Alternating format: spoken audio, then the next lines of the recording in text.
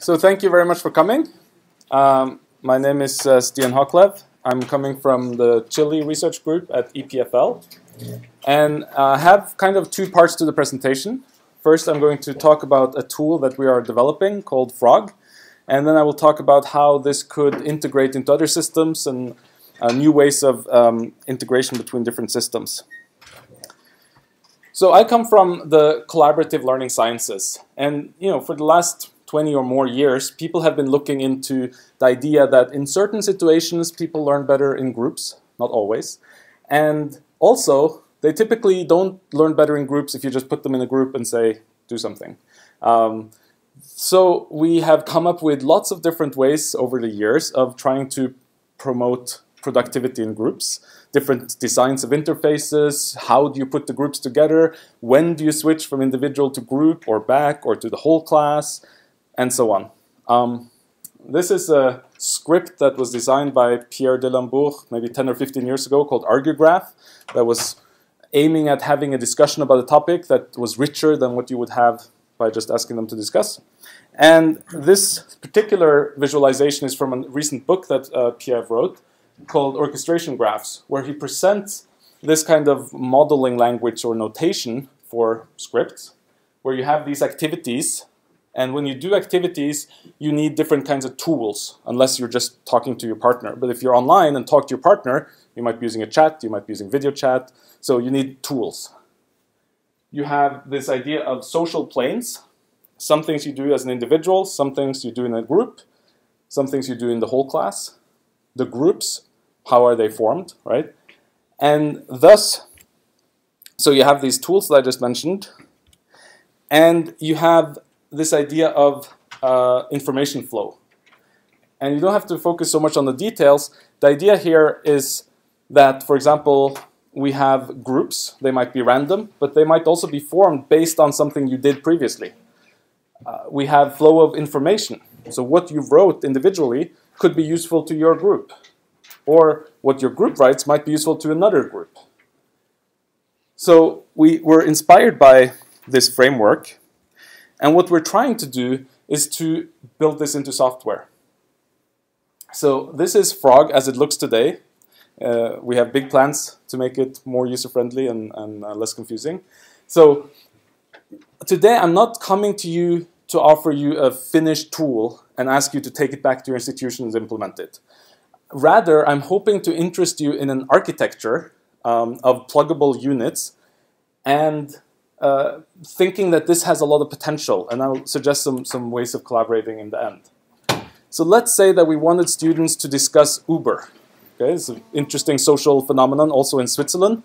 And we want them not just to say, oh, I read in the newspaper yesterday and, and get stuck on one idea. So we first, we randomly assign them to roles. And we say, you're a mayor, you're a taxi driver, you're a consumer. So you have different perspectives. And first, I'm going to assign you different readings right? What, is, what do politicians have to worry about? What do taxi drivers have to worry about? And then I'm going to have you discuss with all the other taxi drivers. And once you've brainstormed all the issues for taxi drivers, you're going to meet with the mayor and the consumer, and you're going to start hashing things out. So some of the building blocks are social operators. You start out with a list of students in your class. In this case, there are many of these social operators, and these are fully pluggable um, we assign both a role and a group. So you are mayor in group one. And then we have the first activity, and we say, in this case, we want them in their roles, so all the mayors together. We have the second activity, and we say we want you in these mixed groups. Then we have a bunch of product operators. Product operators operate on student-generated data, or it could be data coming from the outside, like in this case, where you have an API. You know, maybe it's getting the CNN headlines or anything um, that can be gotten through an API. Maybe it's taking something from the whole class and distributing it to different individual students. And here you see only one activity, but really this might be 20 because each individual student is doing something different. It might be taking individual input from students and aggregating it, right? It might be translating to Spanish, transforming. So the idea, again, is that these are pluggable um, and that anyone, so our goal is not just for us to build in a lot of stuff, but to have an ecosystem where people would actually come up with new operators. And part of that idea is one of my personal goals of bridging research and practice. Because being a researcher, I go to conferences on computer-supported collaborative learning where people show off the interfaces that they've designed. You know, they've come up with a new way of doing chat that's threaded so people don't get confused and where you can actually have a chat message point to an object so when you say this is interesting, people know what you're referring to. And they did lots of experiments and they tested and the students liked it and they learned better. And you say, that's great. I'm teaching a course next week online, 20 students. I'd like to use that tool. Or you can't. Because research um, is always chasing the next paper. It's always chasing the next grant, which has to usually be a new idea. And so in that case, the tool was shelved. They're now working on something else. They couldn't get more funding uh, for it. And you have the, the academic paper, but that doesn't help me, right? Um, so that's the tools. Then we have this new burgeoning field of learning analytics. Big conferences where people are saying, look, I took all this forum data from a course that finished, and I applied all these algorithms, and I was able to detect which students were actually paying attention and were going to do well in the exam and which students weren't. Or I was able to extract the five different topics that people were talking about. Okay, I have a course right now. I have lots of students discussing in a forum. I would like to know which students are struggling. I would like to know what the five topics are because I don't have time to read 100 messages or 1,000 messages. Right? How can we take this research and put it into production? And the nice thing about Frog is that if you have such an algorithm and if you're able to package it up, and if you have standardized data types within Frog between activities, which is necessary anyway to take data from one activity and use it in another, then that algorithm can serve multiple purposes. It can be used for visualizations, right? And these can be live while you're in the classroom you, or in a MOOC. You can know what people are doing. Now, are these particular visualizations useful to teachers? We don't know that, right? I'm not suggesting that the more complex visualizations you give to teachers, the better. But in order for us to begin to explore what are the useful visualizations for teachers, at what point should they be presented, well, we need a very flexible tool where we can try out lots of visualizations. But we can also use exactly the same algorithm to redistribute student data. So let's say we have 100 people in an auditorium, and we ask them, how could the University of Luzern become more sustainable? Five minutes. Everyone's typing on their laptops. We got 100 short answers, let's say 50 because half of them are not paying attention. We got 50 short answers. We're in a live classroom. We don't have time to read them, right, at that point. If we have an algorithm that can tell us that some of the answers are about public transit, some of the answers are about energy, turning off the light using solar, some of them are about working from home. Then A, that helps us plan what we tell the students in the next five minutes. But it can also say, you wrote about energy, here's something about food waste.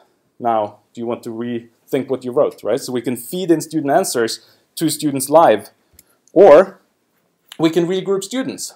So we can say, here's a student who wrote about food waste, he wrote about solar panels, and he wrote about public transit. Now you guys go together and you got 20 minutes to write a recommendation to the rector of uh, Unilu.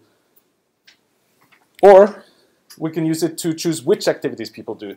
So if there's a quiz testing whether you did your homework, we can then say the people who do well, they get to read an advanced article. People who didn't do well, they go to see some introductory video. Now, again, what I'm trying to lay out here is the possibilities. What exactly is useful, right? Is it helpful for student learning to group them based on who had different opinions? In a MOOC, you might want to group them on based on who are similar, because if there's 2,000 people and four people are really interested in Thomas Aquinas, they would really appreciate finding each other. So the pedagogy comes from the teacher and also from the researcher. But what we're trying to do is to build this tool that's flexible enough to let us explore these possibilities. I showed you some ideas around algorithms and operators. Now, the tools are also important, and I think that we have some quite innov innovative tools. You all know about collaborative editing, Etherpad, Google Docs, you use it often, maybe with your students. Um, however, it is a bit limited in terms of how you orchestrate a class. So in Frog, we have collaborative editing built into the core because all of our activities are both individual and collaborative. So that means that you can put it anywhere you want. You can put it right next to another artifact, like a video.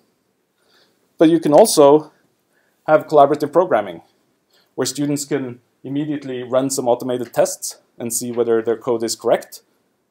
And of course, there's a dashboard for the teacher, seeing how many students have gotten which test passed right? This is collaborative. So you could do it in a classroom with three people on one laptop, three people with three laptops, fully online. And even such a simple thing like this, this is an image gallery where students can upload images and then we're asking them to comment, why do you think this image is useful? Now, this field is collaboratively editable. If you try to embed an Etherpad there, and I've tried, it doesn't look good and it doesn't work very well. So this flexibility of embedding collaborative editing everywhere we want, I think is very nice, but it also enables some interesting new things because collaborative editing generates huge amounts of data. Every key press is logged. So I know that at 3 p.m. you pressed A and you were in position 580. And I have 10,000 statements like that. That's not very useful to me. However, it becomes useful if we can go a few levels up in abstraction. So if I know that from 3 o'clock to 3, uh, 3 past 3, you wrote this sentence. And while you were writing that sentence, in another paragraph, John was writing this other sentence. And by the way, the sentence you wrote was at the end of a paragraph written by John or written by you. Right? Now we're starting to add this contextual data and we're starting to be able to make inference about what are the different roles that people are taking? Is there someone who's adding new information and someone who's fixing their spelling mistakes? Is there someone who's adding information and another one who's reorganizing, right? Is there someone who's deleting everything that the other person is writing? Um, can we see this over time? So initially you have some behavior and over time you have other behavior. And here's a, a, a, an early prototype. You have someone collaboratively editing a document in Frog and you have statistics. Now, in this case, it's just numbers, but going from here to dashboard um, is something we're planning to do very soon. But the important thing here is that what you're seeing is not Peter pressed A and John pressed B, but is, it is, for example, the percentage of uh, paragraphs that's authored by more than one person, whether the paragraphs are interleaved, so I write something, you write something, I write something, or I write something, you write something. And when we apply this to some data we already have from the University of Ghent, we see that over 30 different pads, students start out just dumping information. So I'm writing everything I know about this topic, you write everything you know. And then they start organizing and moving text around. So this is still very early work, but I think it's very uh, interesting because, again, this is something that we can embed anywhere we want in these activities. Another interesting activity is video chat. Now, again, Skype, Google Hangout, you all use this, you've used it for many, many years. However, in this classroom, if I now asked you, talk to the person next to you about whether this is useful or not, what questions you have for me, and then in three minutes report back, you wouldn't be very surprised. It would work quite well. I could even ask you to move around if I had five minutes. If we were in a Google Hangout or, web, or Switch webinar, and I wanted to do something similar, it would be quite difficult. Now, there are some ex very expensive commercial tools that support some forms of this, but even they are not as flexible as what I'd like. So what we're doing is we're building video chat into Frog just like any other activity. So we didn't have to use any, make any changes to the core. Um, it's just an activity. But what it means is that before, when you said, I would like to put a chat on the side of this activity that they're doing a group, you say, now I want to put a video chat. And in this case, we're doing a jigsaw. So we have only, not only one group formation, but we have two. And we want the students to switch between one group to the other group, right? So you have two students looking at a document provided by the teacher and discussing, and then you switch, and you're now in another group formation. You have a collaborative editing tool, and the teacher is asking you to write up some recommendation. So this is an early prototype, but I'm quite excited about it because I think it will enable us to do much richer um, collaborative writing, uh, learning in synchronous online settings, both in a 20 person or 50 person distance course, but even in MOOCs. I think there's actually a lot more space for synchronous learning in MOOCs. And I think part of the reason why we haven't seen that is because we haven't really had the tools to do something very interesting. So that was a, a very quick tour um, through Frog and why I think it's a very exciting project. But as many interesting activities that we can build or activity types, we're never going to be able to, and never, nor would we want to, reproduce everything that already exists. Right? We're not going to make a hundred different physics simulations or a complex a mathematical tool um, or, or even a brainstorming tool. There are so many things out there. How can we embed these in Frog? And you say, well, yeah, people have been embedding learning tools in other platforms also for a long time. It's called LTI, it's called SCORM, it's called different things. And I would argue that to truly embed these into Frog in a way that we can really take advantage of the things that I've shown you, we need more than what's currently available. So an example is a concept map tool. Okay, so I want my students to do a concept map, but I actually have a list of concepts already. And they might have come from the students just typing them down, but it could also be an algorithm that extracted them from their forum posts. Okay, it doesn't matter. I have a list of concepts. I want to pre-populate the concept map with the concepts and then have the students link them up. And as far as I know, there is no such tool existing that let me just say, here's a list of tools, start concept mapping, right? So I want data in. I want to be able to configure the tool. Maybe I say the students have to put a label on all the links, or maybe I say uh, they cannot add any more concepts, right? Different kinds of things. And ideally, I would be able to configure it from within Frog rather than logging into your platform and configuring it there. I need streaming learning analytics, right? I need to know what students are doing right now, not in a week. I need dashboards. I can provide the dashboards if you give me the data. And ideally, I would like this activity to be able to move up to social planes. So if it's a great tool that works for one student, and I say, huh, actually I want them to do it in groups. Does your tool support that? And finally, I want the data that the student generates. If they create a concept map, give me that concept map in some format that I can work with, a JSON structure, whatever, text, something that I can work with. And I would argue that there is no standard currently that covers these use cases. But what we're trying to explore is what are kind of existing standards or common practices that are beginning to move towards this. And the first thing we looked at was XAPI, because it actually seems like streaming learning analytics is the thing where, we're closest. So XAPI is a new standard for interoperable learning analytics statements. So the idea is that you have a statement that's self-contained, that has enough information in itself that you can understand it um, without looking at all the how the activity was configured or what the context was, and that can move between different systems and that you use linked data so that play, whether it's playing, in a, uh, playing a game or playing a video, are actually two different things, and you are very specific about all of these things. So that seems promising, but how do we actually do this in practice? And the thing that, that provided a lot of inspiration for me was looking at H5P, which some of you are familiar with. It's a new, fairly recent um, set of embeddable interactive content types. So they're not really collaborative, they're not really meant for student creating content. They're more quizzes and interactive videos, but the quizzes are drag and drop quizzes, or reorder the words, or all kinds of things that we've had for 10 years, but now it's not in Flash. It's very easy to author, and it's very easy to embed. So people are, are interested in it. And the most interesting thing to me is that these activities stream XAPI statements to the browser. And here's a, a, very simple prototype. This isn't actually an app, it's just something I built to test this.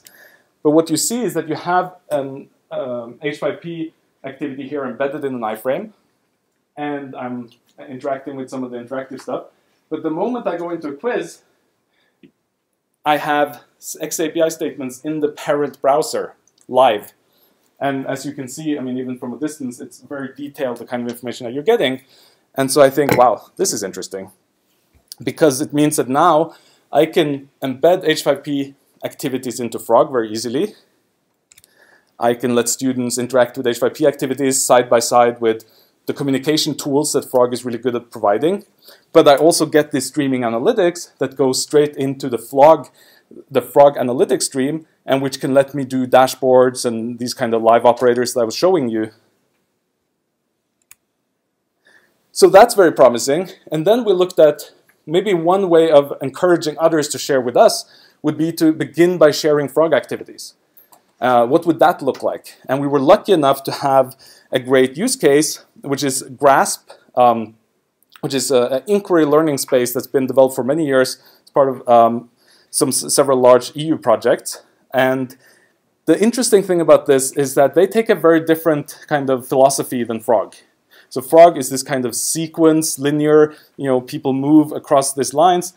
Uh, Graasp is more of an inquiry space where the teacher provides students with a number of tools and lets them move freely between them. So it was interesting to see how could Frog tools, and so remember that I'm now, one of the really rich things about Frog, I think, is the idea of graphs where you have multiple tools, operators, and data flow.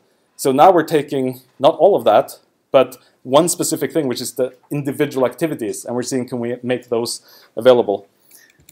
So what we already have as a functioning prototype is that the teacher in Graasp can say, I want to add a Frog app.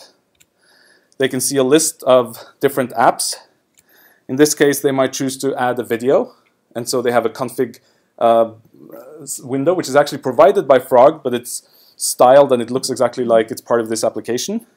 So they configure it. And now the students that log in can see this video. So that's great, although you might say, yes, it's not very difficult to embed a YouTube video. Um, the difference is that now the teacher has a live dashboard showing the different students how far they are in the video, whether they've paused, whether they're still playing, and so on. So that's kind of interesting.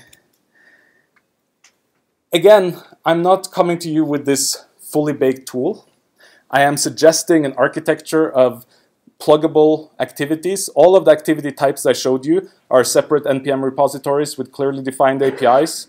Uh, it should be quite easy to build new ones. We had a class of uh, master students actually all having to build frog graphs and design new activity types, uh, including one that I really liked was Morse code chat um, because they were teaching Morse code, and so they had social, they had students both tapping with sound and with uh, visual. So it is an ecosystem. We're working with a few different labs already. The invitation to you is if you think this is interesting, are you interested in thinking about how you could integrate your tools with Frog or how Frog could integrate in your platform? Are you interested in trying Frog in a classroom in your university? Or if you're a HAPE or HEP, do you have student teachers who would like to try this in their school classrooms? Um, it's open source. Uh, the, the link is there. Um, and there's also a bunch of documentation there. So um, thank you very much.